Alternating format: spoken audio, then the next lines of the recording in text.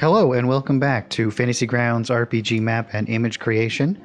Uh, we're on to um, episode four. I'm Josh, and I'm going to be taking you through um, the continued tutorials on on uh, these uh, different ways that you can create some of your um, fantasy style maps. Uh, you can use this uh, pretty much all of the concepts that we uh, go through here um, can be applied to any sort of map creation. Uh, I'm specifically working in Photoshop, and uh, but most of these things can be done uh, throughout uh, any sort of image editing software. Uh, we will be eventually transitioning into Fantasy Grounds Unity as that becomes available, and I can show you exactly how to use that program and how to create uh, successful maps within it. Uh, today, what we're going to be doing is going over some of the elevation elements of our ground. Uh, we're going to be working uh, in mountains. I'm going to actually show you uh, two different ways. Uh, we're going to do two episodes on this. Uh, the first one is going to be a much more stylized kind of way to create your mountains, and the second one will be a little bit more of a natural, realistic style of elevation.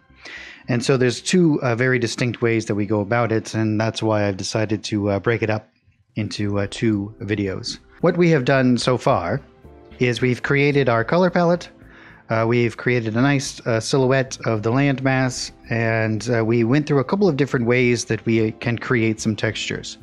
Um, and so we're going to continue on this process here. Uh, the first thing that we're going to do is uh, we're going to work out a couple of different shapes for our mountains. And we're going to do that very simplistically, and we're going to build up from there. Uh, as always, I'm just using a mouse and uh, anything that I do here uh, requires very little kind of artistic skills. Our first step in creating the mountain is to create the basic shape from which we will then uh, build upon and, uh, as we always do, create a more and more complex kind of uh, situation from it. I'm going to uh, use the elliptical selection tool to grab a section of the ground, which I will uh, further manipulate into a mountain shape. And I'm going to show you guys how to do that uh, very easily. Uh, the first thing that we want to do is we want to make sure that we can select all of this information. And as you can see, we have it all divided up into layers here. And so I'm going to copy all of these layers and collapse them. Uh, the reason why I do that is I want to also maintain the original ones and that this uh, particular layer is going to be used only uh, for grabbing information from. This can change later on, and if I want to add more layers down here, I haven't um, got myself in a in a kind of sticky situation. I, I can always go back and change things later. Uh, grabbing the elliptical tool, if I hold down shift, I can do a complete circle. Uh, if I don't hold down shift, I can do lots of different uh, ellipses, but I want um, a very kind of standard circle. And I'm going to grab it over in here. Uh, there's a bit of um, value information in here, and so we can um, make sure I'm on the right layer. Uh, we can uh, grab all of that, and that's going to help us uh, sell that this is actually part of the landscape. And I'm going to do this much larger than it needs to be so that I can shrink it down. And hitting Control C and then uh, Control J will uh, put it right into our uh, image here. Now let's turn off all of these other lands and uh, switch over to our Move tool. And you can see that this is uh, the basic shape. Now we're going to carve this away to get to our actual mountain shape. Uh, and we're going to do that really, really easily. the first thing that we're going to do is we're going to turn on our grids. the easy way to do that is Control apostrophe now, if your grid is set to different parameters than this, um, you only need to go to Edit and Preferences. And here you'll see your, your guides, grids, and slices. Um, I have mine set to every 300 pixels with one subdivision. And this gives me plenty of room on this size of map. And what I want to do is I'm going to line this up in here. The reason why I'm going to do that is so that I can do a pretty even kind of slice because this will adhere to the corners of my grid, uh, kind of st- sticks to each little intersection. And when I hit delete, I know that this is quite even. And even though mountains aren't even, obviously, this is a great starting point for me to later manipulate the image and to change it to whatever kind of shapes that I wish. And so now I can turn off the grid, recenter the map here a little bit, and uh, I'm going to um, divide this to its light and shadow sides. Mountains are not uh, completely divided right down the middle, so we want a little bit of variant in here, and this polygon selection tool will do quite well for that. Uh, we can come straight down the middle at the top, but then we want to deviate some back and forth. Um, nothing uh, out of, we don't want anything too um, absurd. So you want to keep it a little bit conservative, but you can have uh, some nice little uh, variations to one side or the other. And this is basically uh, the uh, ridge line uh, of the uh, mountain itself. With that selection, if we hit Control J now, uh, what we have actually done is made another layer, but only with those selected pixels. And so it's right where we want it to be. And we can very easily just hit Control U, uh, maybe do negative 20, and we've created a shadow side of our mountain.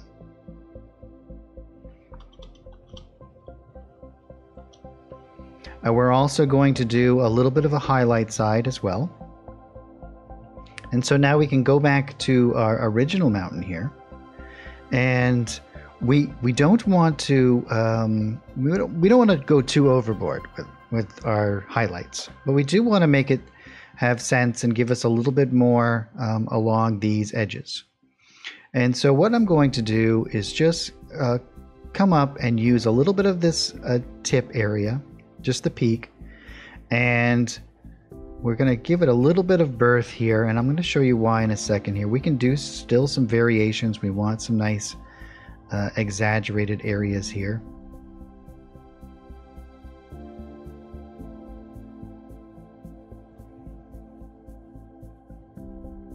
and I've kind of cut that off but that's fine so I'm gonna hit shift and I'm gonna add that to the uh, selection so with the selection made I go up to my uh, select drop down menu here and we're gonna modify it and we're gonna go to feather and we're just gonna feather it five pixels what this does is it changes uh, the perimeter here of our selection to a gradient and that is great for us in this uh, particular scenario. So now when we hit Control J and we turn this away, you can see that this is all faded off on the edges here. I can now uh, hit my Control U and I can uh, lighten it a little bit, uh, maybe 10. And so you, as you can see, all of this combined is beginning to make um, a very nice kind of layer here. We're going to want to do uh, some angular uh, areas of highlight as well, and which is great because we can always go back and uh, do some more selections and make this a much more kind of complex shape. Uh, oftentimes, where you have these angular changes, is where you're going to get the ridges that come down, and so this is. Um, when we want to actually look at the shapes that we're creating here and begin to identify them. So here we can have this come up.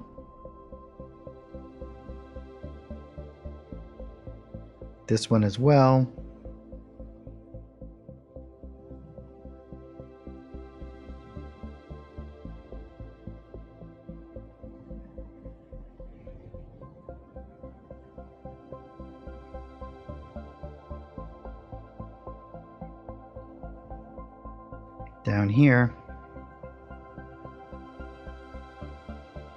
Think that this will be our last one here.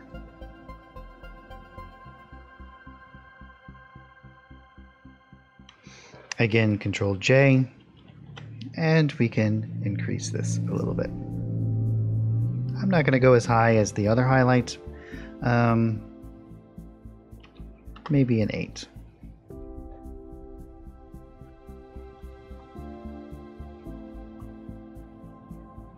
Now that we have these all selected, uh, or separated rather in our own individual layers, uh, this becomes much more easy for us to manage, change, and manipulate as we move along. I'm going to switch back over and I'm just going to show uh, the landmass here. Uh, you can see that, uh, let me grab all of these layers. We'll move it uh, out of the way here a little bit. Uh, you can see that it is only able to be seen by the highlighted areas and the shadowed areas. I'm going to shrink this down and eventually we're going to shrink this down quite a lot but uh, I want to work on it at a larger scale so that it's easier for me to manipulate. I'm going to increase um, the lightness just a little bit of the original layer here to help give us a little bit of a differential here.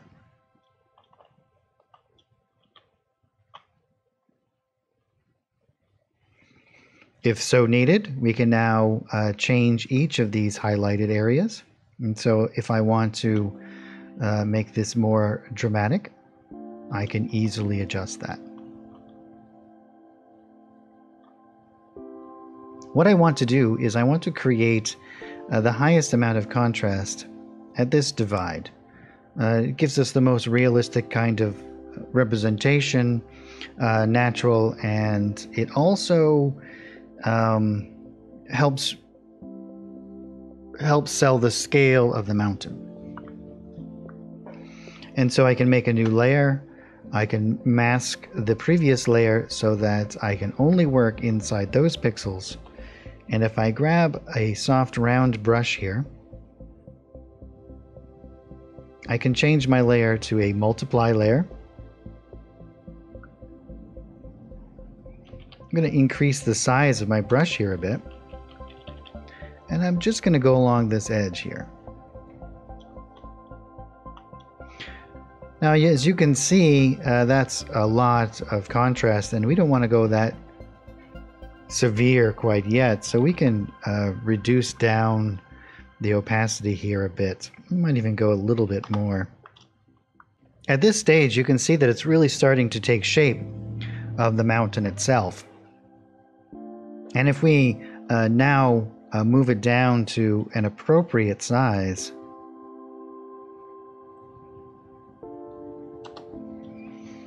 it begins to blend in quite well. I'm going to copy the entire mountain,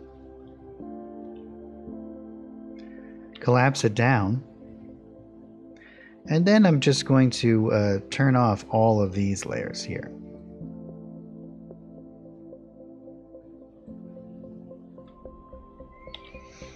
How I'm going to blend this in a little bit further here is I'm just going to use my soft round eraser and blend in this base.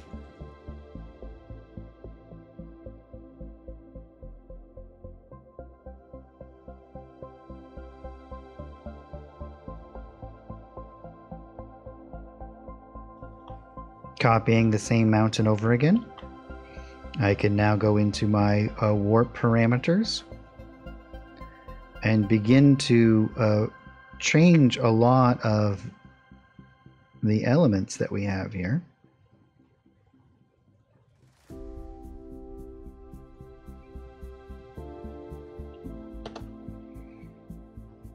And by overlapping these,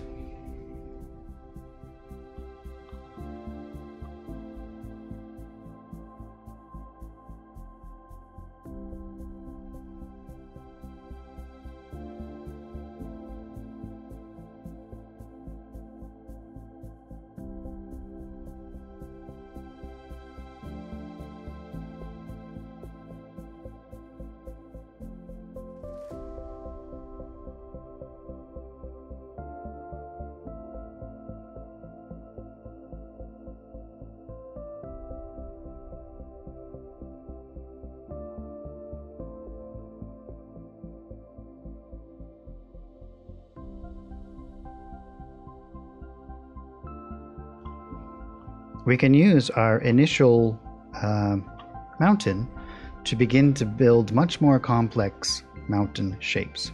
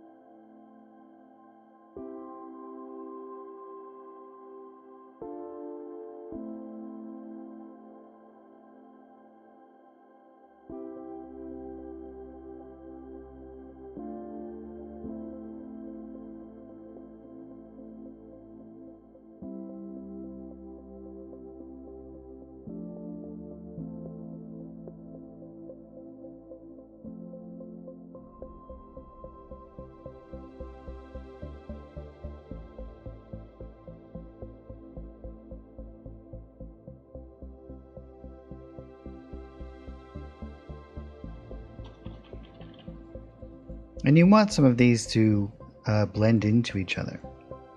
You want to get a lot of this uh, random interactions.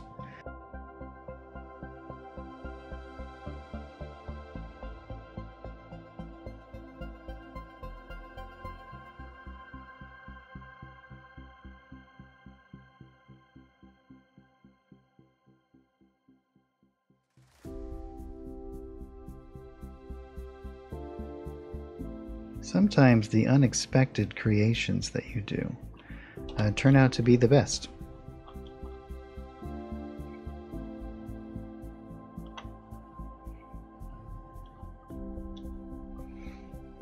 I would repeat this process uh, two or three times to make some different variations in mountains. And then I would make groupings that I can change and move throughout my uh, creation here.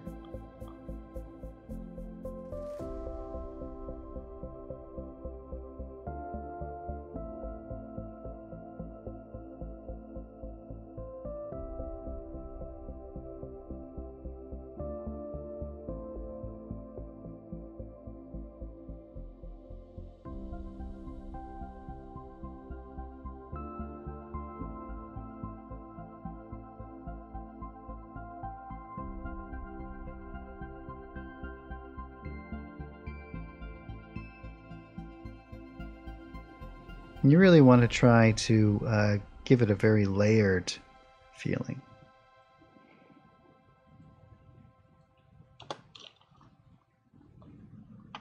Make it feel like that many of the mountains and different parts flow from each other.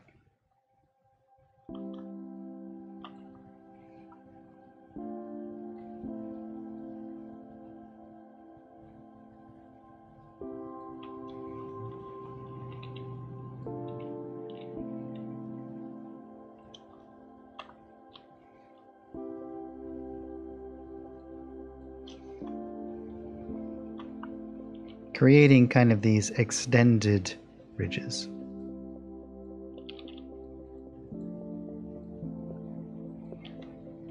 And don't be afraid to experiment.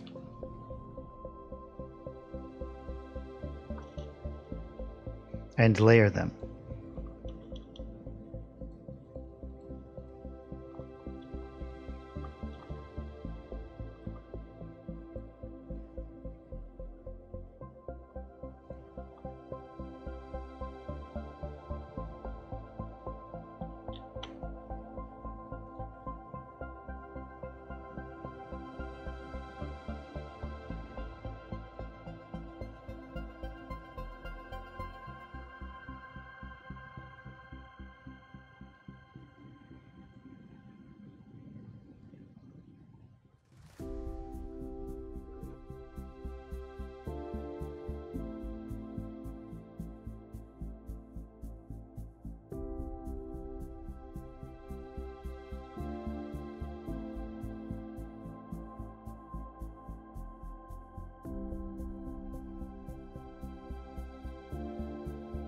Uh, if you want, uh, if you're you're feeling like your ridges are looking a little bit too um, contrived, if there's too much of a pattern in one particular area, uh, you can always grab this one particular mountain.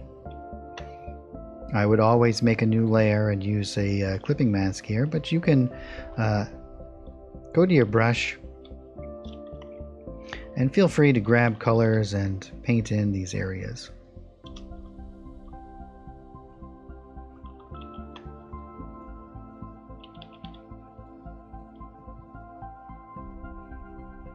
Add more and more variants.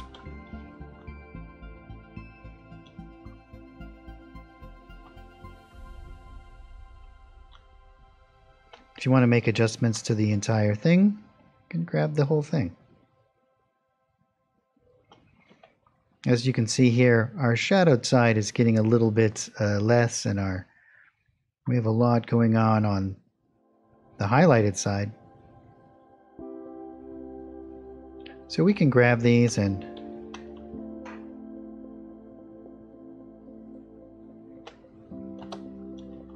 give it a little bit more balance.